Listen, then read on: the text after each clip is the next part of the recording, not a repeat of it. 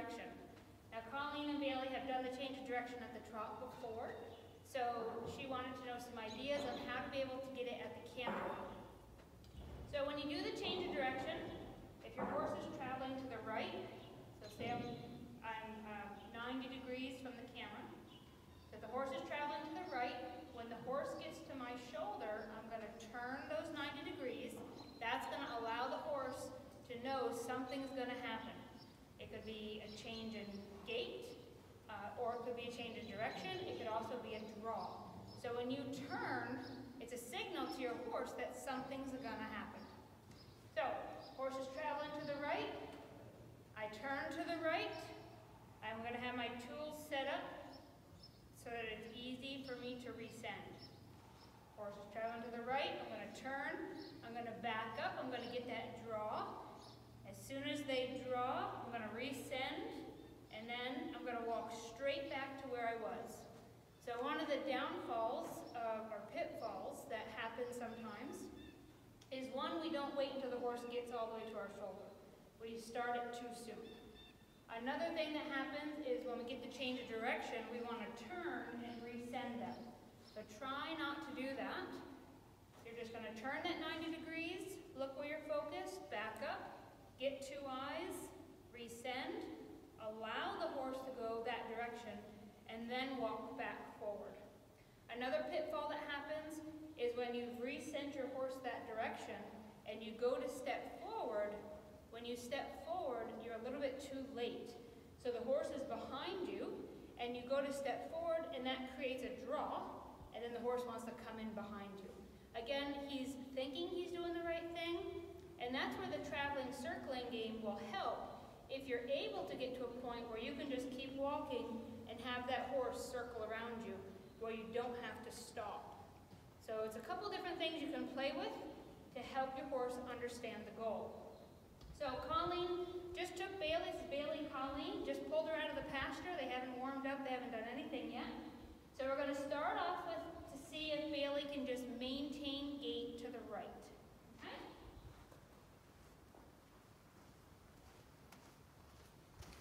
So Colleen's using a featherlight line. It's the same 22 feet away uh, you know, 22 feet in distance. It's just a little bit lighter.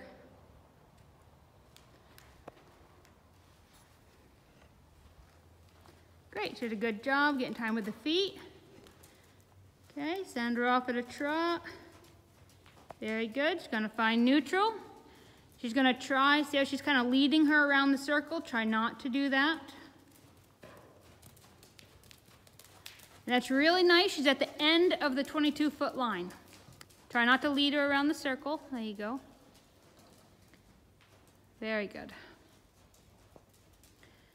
So first she needs to establish the circling game. That looks really good. So now Colleen, on your own, remember which direction you're headed. And when you're ready and she's set up, you're going to do a maintain direction at the trot. So it'll be helpful if she's at the end of her line.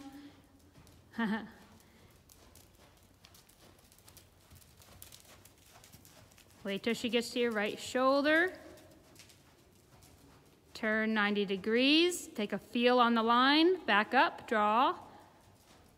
Resend. And walk in straight to where you were. Try to keep maintaining the gait.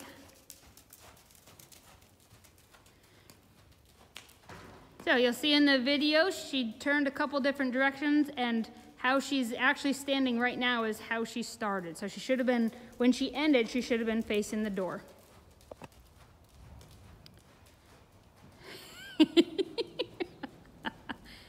Good. So she's still trotting, so try not to point. Got a nice looking shoe.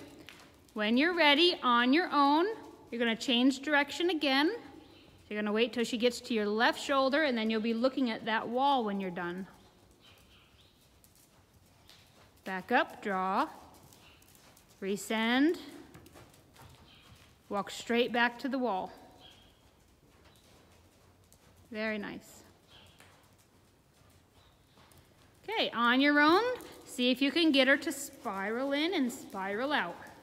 So you're gonna keep your feet in neutral. And just every time she goes around, take up more of a feel. Keep going, you ain't got much of a feel there, there you go.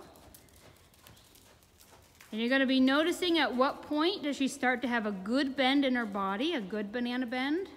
So have a little bit more feel, there's a lot of slack in the line. That's how I know there's not much feel. Very good. Keep your body engaged. So how little can you go and have her still maintain the gait? Okay, that was about it. So now you're gonna just kind of feed the rope back out, put some energy on her shoulder. And it's really nice Colleen's feeding the rope out instead of allowing the horse to pull it out of her hands. We don't want to teach our horses to pull. Good. When you're ready, I'd go ahead and invite her in. Very nice.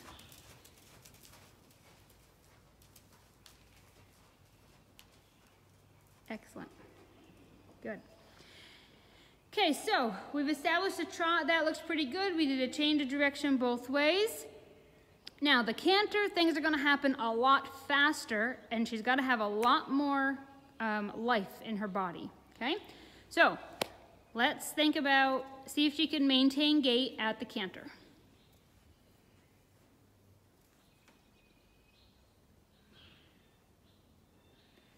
We've given her muscles a chance to warm up a little bit.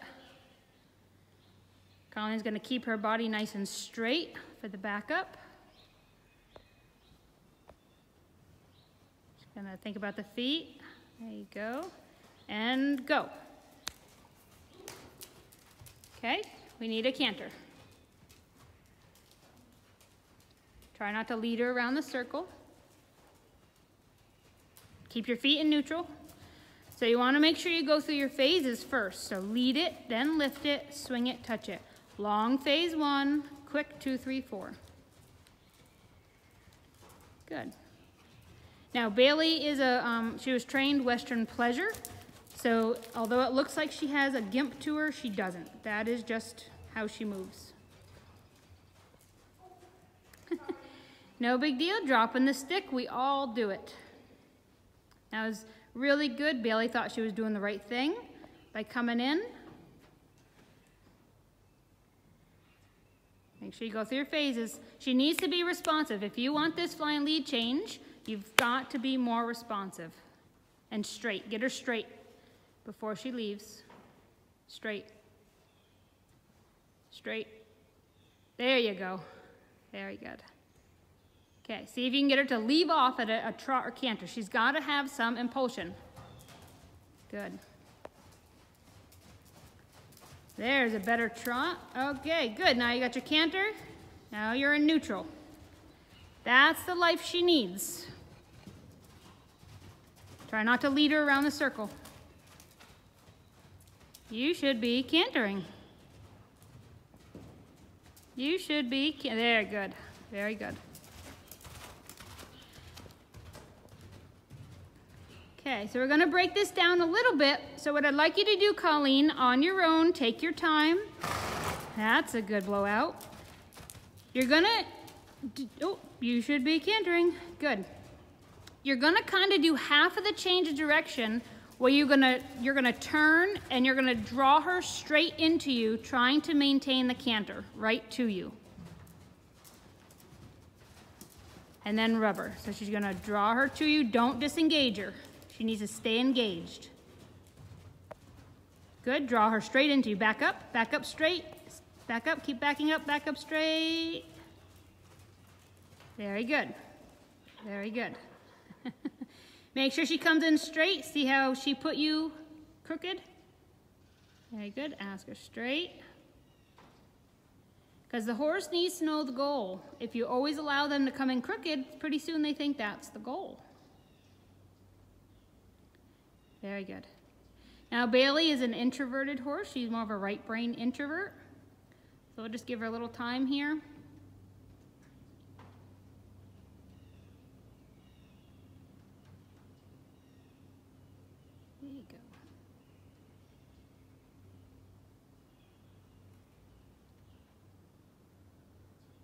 Nice and straight.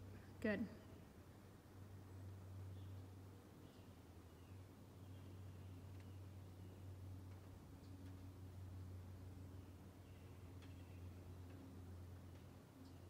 All right, why don't you walk back to where you were, just nice and easy. Don't, don't back her up, you just turn and walk. And give her the time to lick and chew then. Oh, good, perfect, good. Okay, get back to your circle, the center, wherever you were, and now you're gonna go the other direction. So you went to the left, you're gonna go to the right.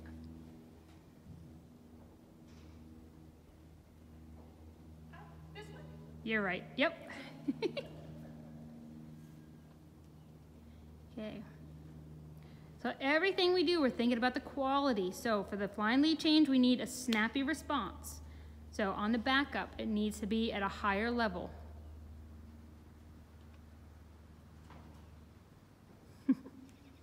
Good, much better backup. Really nice. And go, go.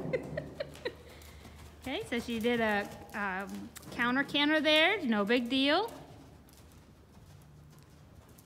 Okay, and get her a little bit more motivated at the canter. So have a little bit more energy at the canter. Get her moving. That looks good. Free up her feet, free up her legs. Very good. On your own, oh, keep cantering, good. On your own, you're gonna do that kind of a half a change of direction where you're gonna kind of turn and then run backwards and see if you can get her to maintain cantering to you. Oh, she's cross-firing, don't do it yet.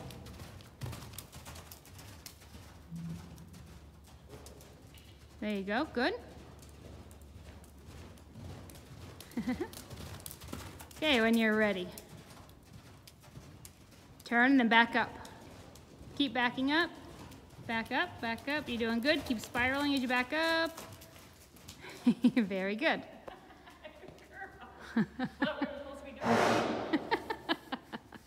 so with Bailey, um, like I said, as soon as you start pushing some buttons, things show up in your horse. So she just did that blowout, like that whale blowout. And uh, those of you that were with us last night for our workout, or it might have been a couple nights ago by the time we watched this video, um, Linda did the send them and then park. And so they bring up their life and then let them relax. Good. Okay. So go ahead now, and now you're going to ask her into a canter. Now, which way did she canter better?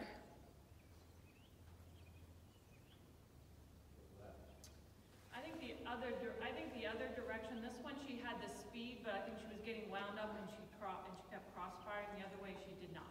Yeah, so she was more emotional going to the right. But- Okay. But I didn't ask her to go faster the other direction, so I don't know if she would have done the same thing. She didn't start doing the crossfiring and, and got to get hopped up till I kind of got after and then she started getting fast. The other way, I just let her do her, her nice little lope. So when she was going to the left, she she was stretching out more. When she went to the right, she had a she was kind of balled up a little bit. So okay, so let's just we're gonna see what happens here. So we're just gonna experiment Is, is our better direction. to the left. Yep. Okay, so we're gonna try for the flying lead change and just see what happens, and then we're gonna figure out what to do if it doesn't go right. So you because her left is the better direction, you're gonna send her to the right first. So that way, when you do your change of direction, she'll be going her better way. Oh, that makes sense. Yeah, have done the opposite, but that makes more sense. Okay, so find your center, center your circle.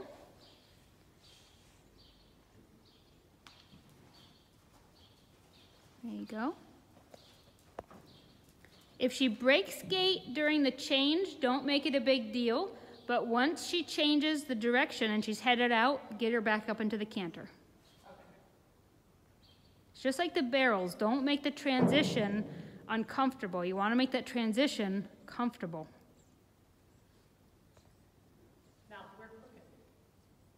Okay, so go ahead, get her straight. Try not to move your feet. You got. There you go.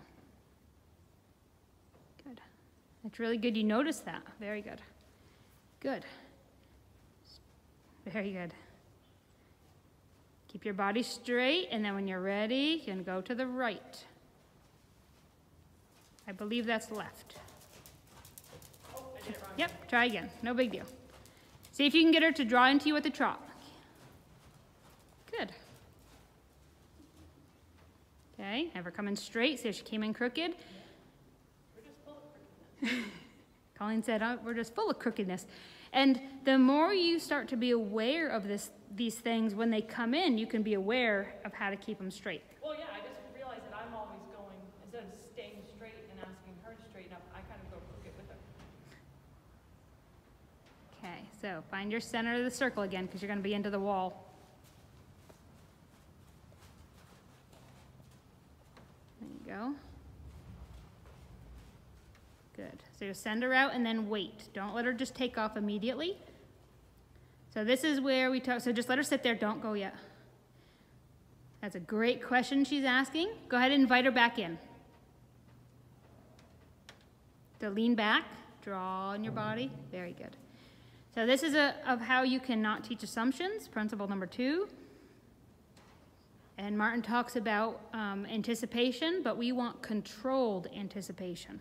Okay, go ahead, back her back out, nice and straight. Talk to the feet. Then when you're ready, send her off to the right. Go, go, go, cantering. Go. Okay, she needs a little bit more motivated canter when you're ready. A little bit more. There you go. Now, on your own, figure out where you need to turn. And just try to keep that canter life in your body. Good. So that was a perfect time to say, keep going. Don't change it. Good. Turn, back up fast. Back, back up, back up, back up, back up, back up, point, and resend. Good, back into the canter. Good. This will definitely bring up the life in your horse. On your own.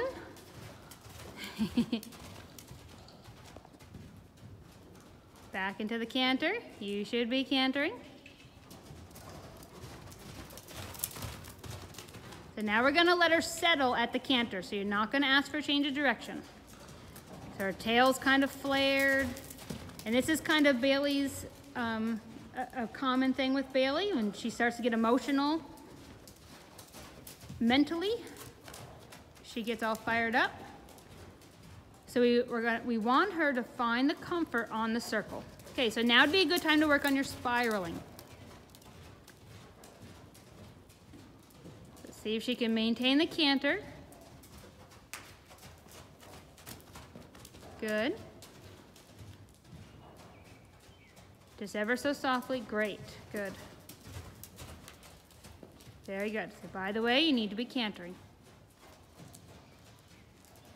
Good. By the way, you need to be cantering. You're not going to make her feel wrong.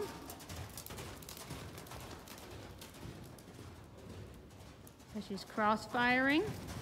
it's okay, hang in there. By the way, you need to be cantering. It's okay, hang in there. By the way, you need to be cantering. By the way, you need to be cantering. Good, very good. Now do your spiraling until she comes down to a trot, but she has to keep trotting. Good. Okay, do your spiral. She wants to canter, that's fine, but you just say we're spiraling.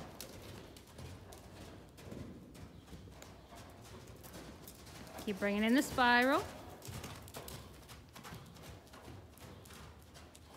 And Colleen's doing a great job because Bailey's pulling pretty hard. She's not tossing the rope over her head. There you go. So keep trotting, spiral closer.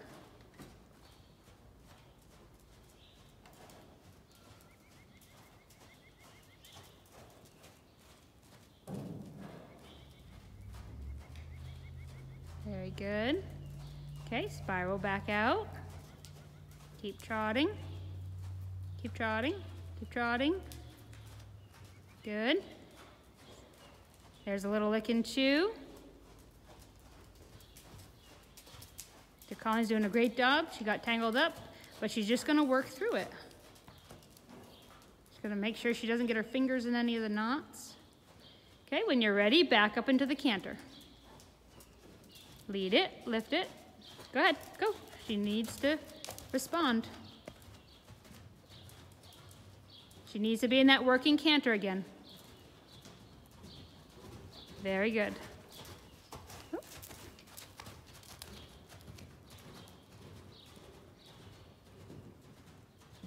Now, when you're ready, you're gonna do that half a change of direction and have her see if she can, oh, there you go, that's okay.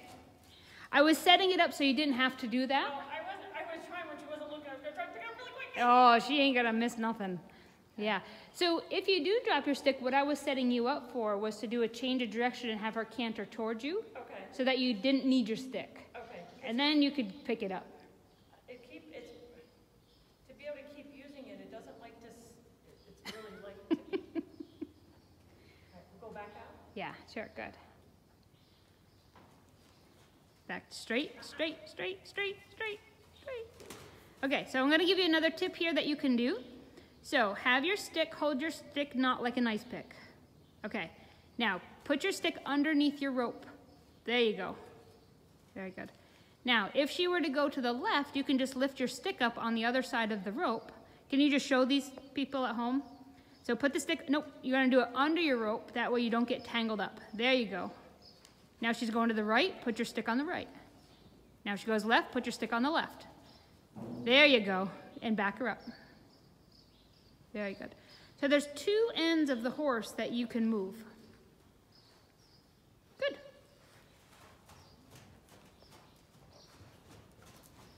So now be soft, smooth.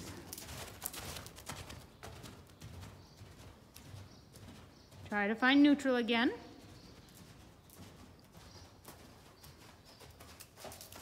You should be cantering. You should. you should be cantering. Good. So find your neutral, and we're going to end with her doing two laps at the canter. Because this was a really good session where she brought up her emotions, and then you helped her bring them down. There's one lap.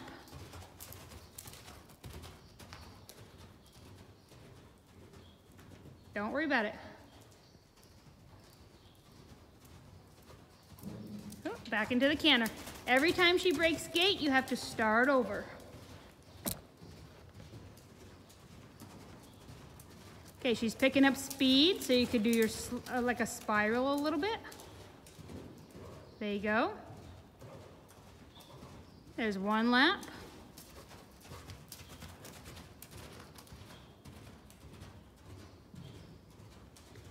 When she passes your belly button, just turn and run backwards and have her maintain gait towards you. Oh, she switched leads.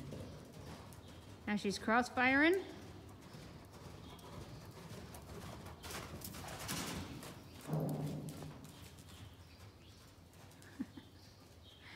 Very good. Coming straight. Did she come in straight? Get her straight. Very good. Good.